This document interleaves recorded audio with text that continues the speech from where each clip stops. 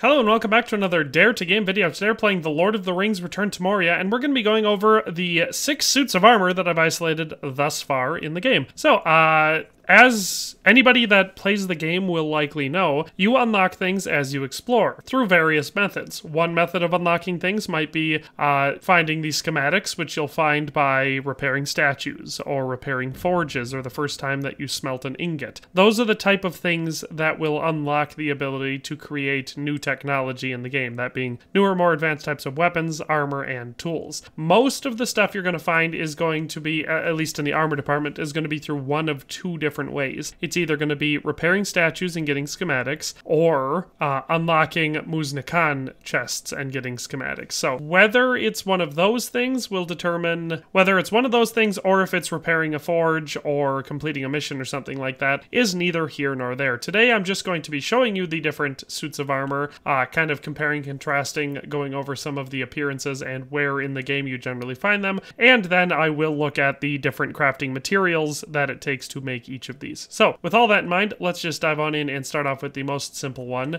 uh, that being the Iron Hills armor. So this suit of armor is the one that requires the most, I guess, suspension of uh, expectations for it. A, because it just doesn't look all that cool, and B, doesn't provide any ridiculous amount of armor. It's obviously better to have than not to have. Uh, and this one is the one that you will find first. So while exploring the very first section of the Western Halls, the section that you start the game in, as you repair statues, you will unlock these schematics for Iron Hills armor. Now, now, the downside of this suit of armor is that it's not actually a complete suit. I have now gone through the entire region very, very thoroughly on two separate playthroughs with two different characters on two different worlds, just to make sure that there was no mistake. And the only armor I could find for the Iron Hills armor is the Iron Hills armor, which you can see is a armor tier 1. It says a basic breastplate for both mining and defense, and Iron Hills Dwarf's favorite, and the Iron Hills gloves. So it's also tier 1, follows the same pattern. The hat is the Trapper hat. That's what I'm wearing here. It says with two flaps up this hat makes a statement. It is definitely not linked to the Iron Hills armor in anything more than it kind of looks like a hat that you might expect a dwarf in a colder region to wear, and the Iron Hills is a slightly colder region than a lot of dwarfs might be found living in. That being said, they're underground, so it doesn't make a huge difference. Uh, and the pants are Erebor pants. They're not even tier 1. I could not find any tier 1 armored pants in the game, so I just took the ones that I thought looked the best and set them with this suit. So technically the suit of armor, even if you can assume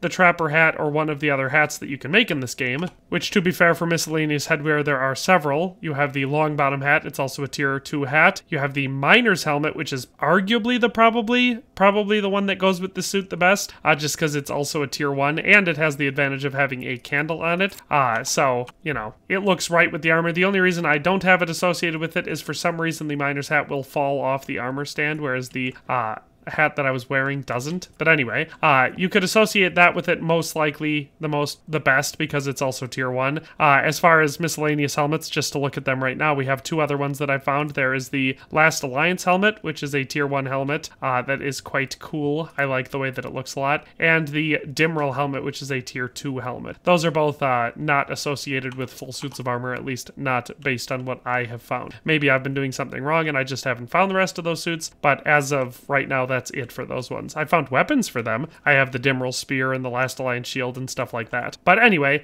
uh, the Iron Hills armor, in and of itself, is nothing all that impressive. I think it looks fine, but uh, the protection it offers is minimal, and for style points, it is relatively low. Like I said, you find all these schematics in the very beginning uh, portion of the Western Halls, just this section here prior to the Elven Quarter. As far as crafting these pieces of armor, it's very simple. The Iron Hills armor itself requires four iron ingots, two hide scraps, and three cloth scraps scraps. Iron ingots are the only thing there that you're going to need to try at all to have. The hide scraps and cloth scraps are things that you will just commonly loot all the time. Uh, the Iron Hills gloves, same thing. Two iron ingots, two hide scraps, and six cloth scraps. But yeah, that is it for the very first, the tier 1 Iron Hills armor. Like I said, not all that impressive, but when you're first starting off the game, it is your only option. So it's got that going for it. See, for some reason the miner's hat sits down by the feet instead of being up on the head. Our next armor that we're taking a look at is the Erebor armor, and this is your tier 2 armor. So it says light steel armor, a pale comparison of the ancient Belegost style, but light enough for fighting and traveling. And so, you know, it's Erebor stuff. It's themed after the Lonely Mountain. Uh, it is a significant improvement over the Iron Hills armor in two ways, one of which being it is a full suit of armor with, uh, you know, a helmet and legs, and so therefore just, even if the stats were exactly the same, this one would offer better protection. I also think it looks better. It's a better looking suit of armor. You can see that we've got a lot of leather and chainmail elements with a little bit of plate armor on like the pauldrons and then obviously the helmet itself. Uh, so aesthetically speaking, I think it's a big upgrade over the Iron Hills and stat wise, it's definitely a significant improvement. As far as where to find the schematics for this one, you're going to find these ones by repairing uh, statues down in the lower depths and the lower western halls. So you can see these are the upper western halls, the stuff that's highlighted here. Once you've gone through into the mines and you've got down into the lower western halls, which is all of this stuff that is currently not highlighted, uh, you will start finding statues in there, and repairing statues in there will find you Erebor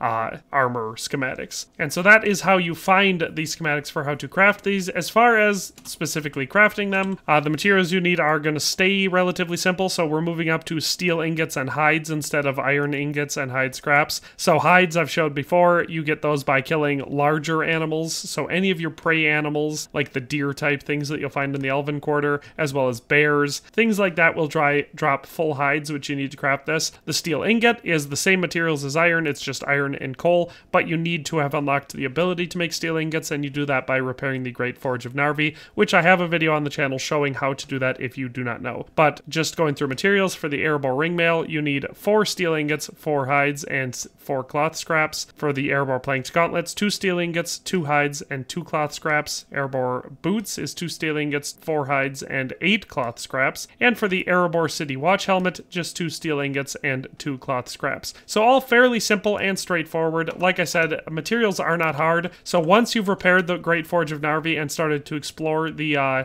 lower region of the western court uh, of the western halls, you really realistically should start crafting this as it is a significant upgrade over that of the Iron Hills armor. So that is the Erebor City Watch armor. Let's move on to the third suit. So our next suit of armor that we're going to be looking at is the Belegost ringmail, and you unlock the ability to craft this once you've made your way into the lower deeps, which I'll show you on the map, and you've found the Belegost Forge, because by that point you're going to be unlocking the materials and the abilities to get this. You will unlock the individual pieces themselves again, just like the previous suits, by repairing statues and finding the schematics that way, but you will also need the materials to craft it. So as far as uh, visual improvements on this one, it's huge. I think this one is a big step up over the Erebor one. It's got a similar style, so we've got that ringmail aesthetic going on, but we have quite a bit more heavy plate over the torso and on the arms. The helmet itself is a very cool uh, masked helmet, which is famous uh, for dwarves in Tolkien's lore because it, it was meant to help them fight against dragons and stuff like that. So I definitely really like the aesthetic appearance of the Belegost ringmail. Uh, on top of that, it definitely has a big enough stat boost over the last one, providing you significantly more protection and uh, the durability being significantly higher, so therefore it will just take more damage before you have to repair it. Keep in mind with all armor in this game, once you've reached zero for the uh, durability on a on any piece of armor, it no longer provides any protection even if you're still wearing it. Uh, so that being said, uh,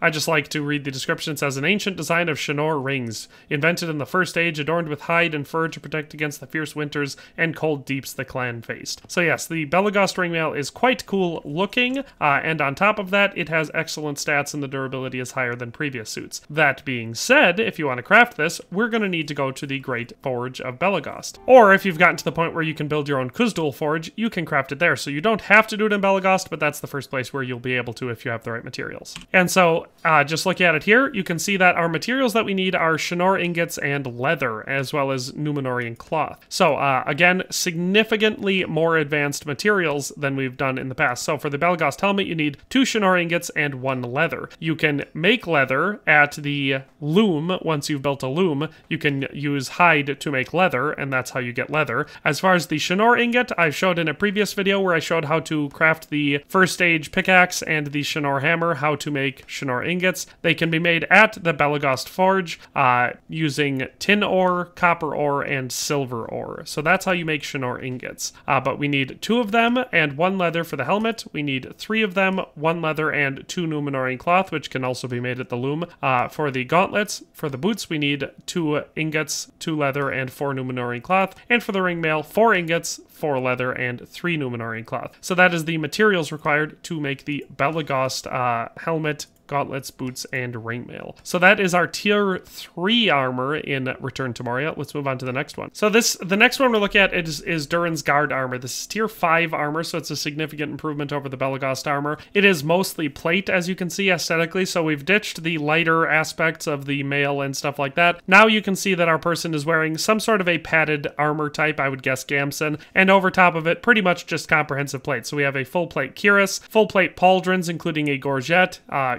uh, plate gauntlets, plate boots and upper thigh armor. Uh, don't know if there's a cod piece, but that'd be fun. We do have a less comprehensive helmet on this one, but it is just guard armor for Durin, who at this time was living underground in Moria and there were no dragons. So it makes sense that it would not be the full, all the way mask down to the, you know, basically sternum covering the helmet. So this is the Durin's guard armor. I really like the way this one looks. It's slightly more adorned with some gems, and so therefore it has a fancier look to it. But just overall, I like the general appearance of it. Personally, I think I would still like the look of mail under it, even though the Gamson would obviously be, you know, an excellent addition to such comprehensive plate armor. Uh, I think that the mail looks better. Uh, as far as the description for this goes, it says, worn by the king's personal guard, this armor protects against the shadow. It was essential in Durin's victory. So, an excellent suit of armor. As far as where and how to get this one, we're going to be moving past the lower deeps and into Dwarrowdelf. And so, once you're in Dwarrowdelf, the central area that you're going to be locating in the big central square is a big devastated room where the Balrog caused a lot of damage a long time ago. Uh, the good thing is, is there are two forges in this area, and it's a very large section, so you're going to find enough statues to unlock all of these, as well as the next suit of armor. But for this suit of armor, where you're going to need to go is going to be the Great Forge of Durin, and so I'll show you what that looks like.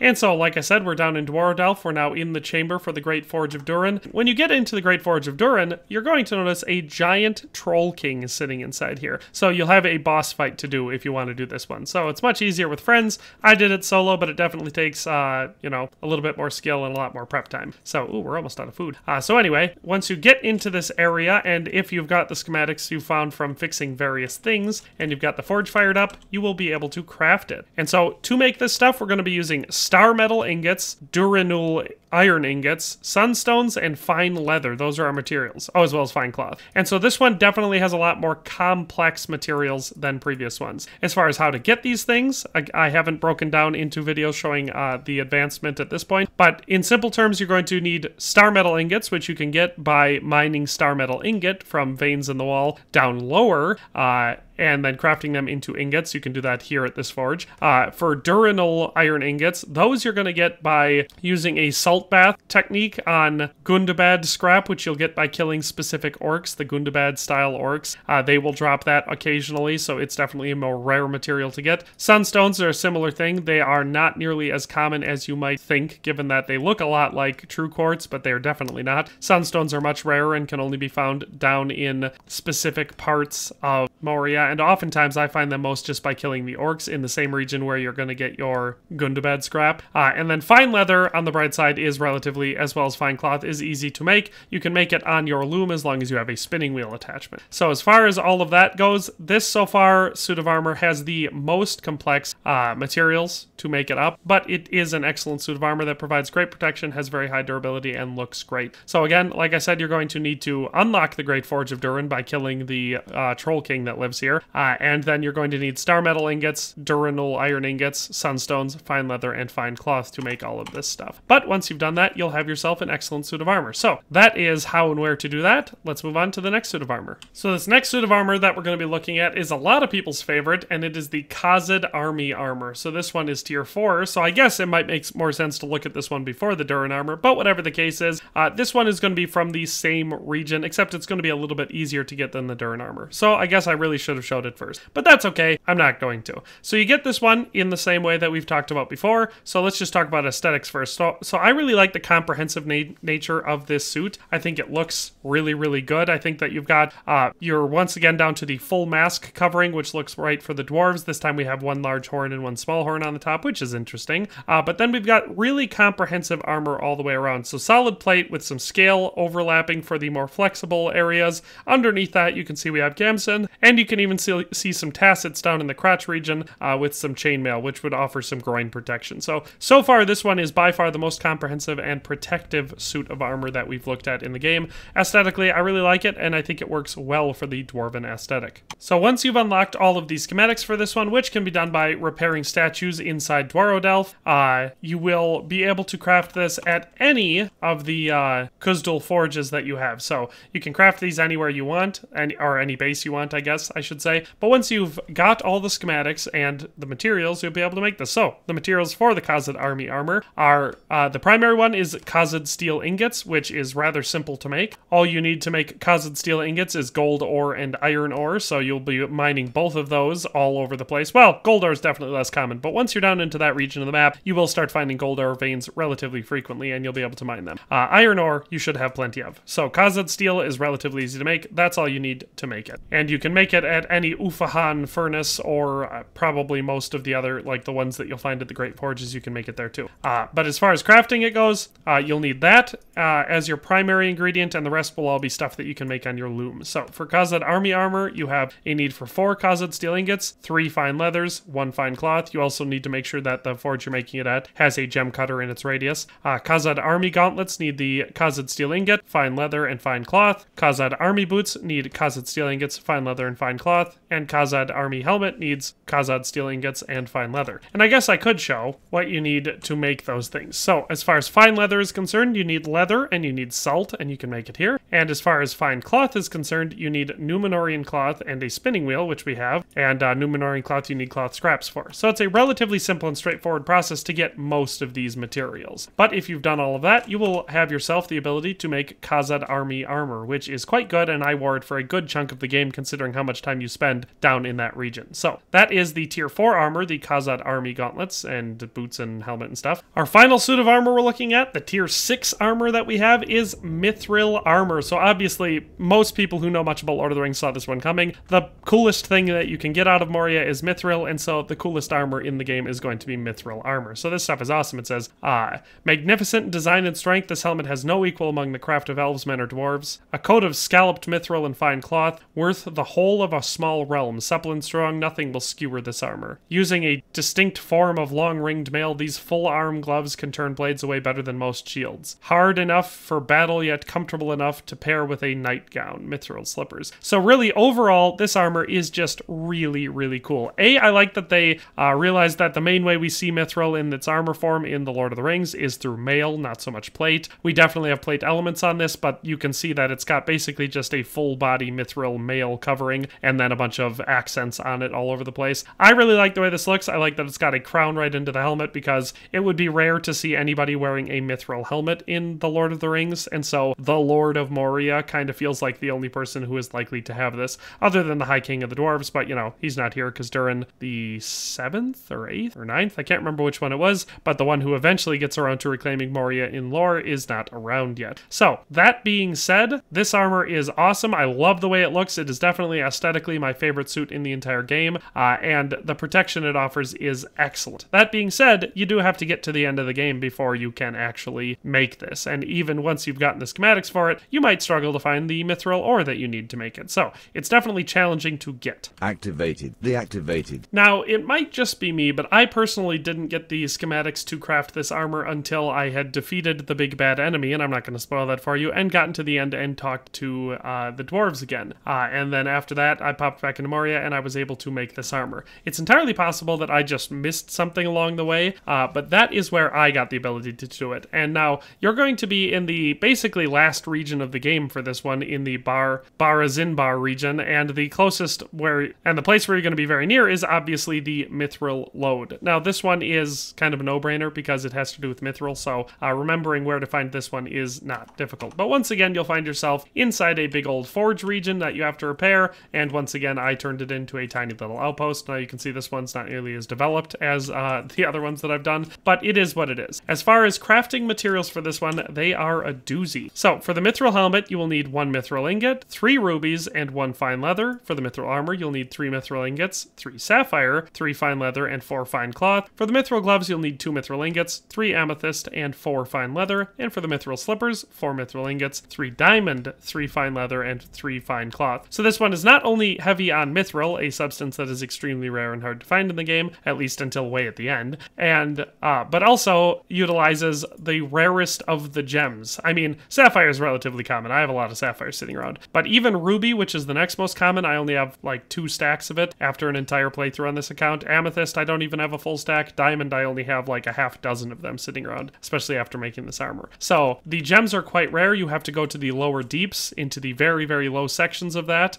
uh, to try and mine those, uh, at least reliably. Other than that, you can find them in troll hoards or by killing enemies, and they will sometimes drop them. Uh, as far as the materials that we're looking at, oh, I had some mithril smithing at that time. So mithril ingots, ingots, you need six mithril ore to make one mithril ingot. As far as that goes, you can mine a little bit of mithril in ore veins right here by the mithril lode, but really not much. Where you're going to get the majority of your mithril, or at least I did, was after killing the big bad enemy at the end of the game. Uh, I actually had that enemy dropped three full stacks of mithril ore. So, and it was funny because the enemy was like, ah, my hoard is bones, it's not gold. What were you expecting? Blah, blah, blah. And then after I kill them, they drop, you know, almost 90 mithril ore, which would be worth incredibly more than extremely large quantities of gold in, you know, at least in the lore here. But yes, as far as that goes, that is your main one you need. You also need gems, like I said, you mine them or kill for them, but that is how you get the materials to make the mithril armor, which is the best armor in the game. But